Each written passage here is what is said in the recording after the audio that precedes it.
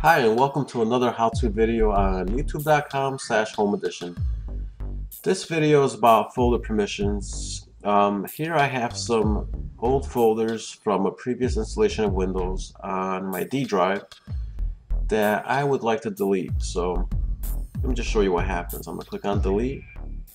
Are you sure you want to move this to recycle bin? Yes. And then I get this error message.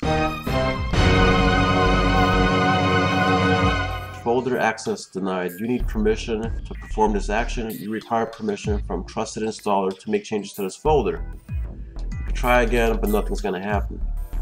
So here's what you do. You right click this folder, you click properties, okay? Click on security. And as you can see, there's the TrustedInstaller right there. So what I recommend you do is you click advanced okay. Then you find the user account you're using and here here I am. I'm right here. And I only have read and execute permissions. So I'm gonna click on change permissions. Okay. So I gotta find my account again right there. I'm gonna edit these permissions. I'm gonna give myself full control. Okay and I'm going to check this box. Apply these permissions to objects and or containers within this container only. Okay. I'm also going to check this box. Replace all child object permissions with inheritable permissions from this object. Okay. I'll just click OK.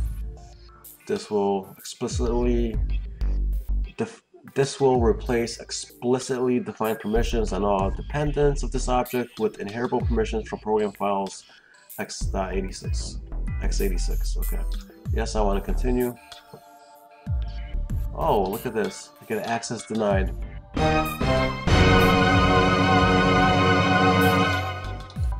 Okay. So, cancel out of this. This is what we're going to do. We're going to start again. I'm going to click on Properties click on security. I'm gonna take my user account. I'm gonna give myself full control.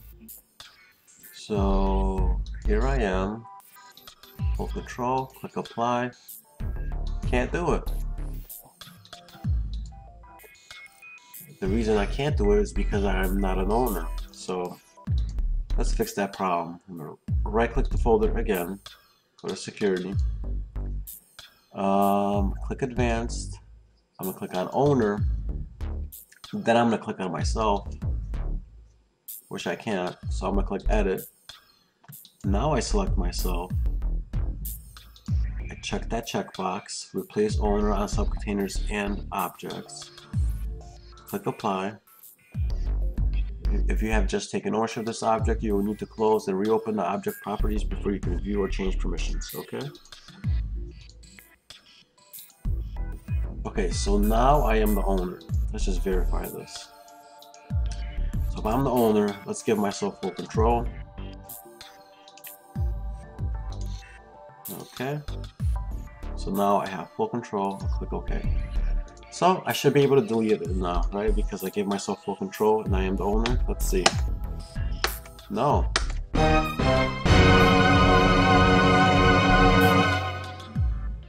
Says you require permission from LexPC to make changes to this folder. So now, right click this folder, properties, security, click advanced.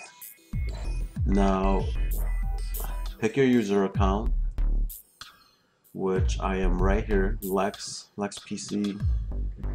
Okay, so I change permission, pick my user account, and I edit and I do have full control. Why does it say special? Let's just look at this real quick. This folder, subfolders and files, so make sure you check that.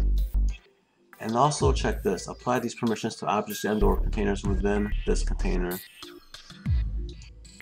Okay, so now I click OK.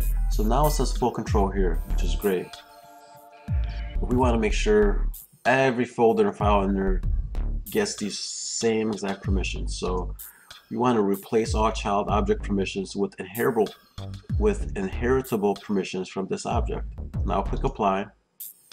Now you see it scan through all the files. Should let him do. So just click OK. And OK. And now, if I go to delete it, finally gone. Well, that's how you do it. Hey, thanks for checking out this video. Please hit subscribe, it's right there. And also, show me some love. Hit the thumbs up button somewhere over here. Alright, peace.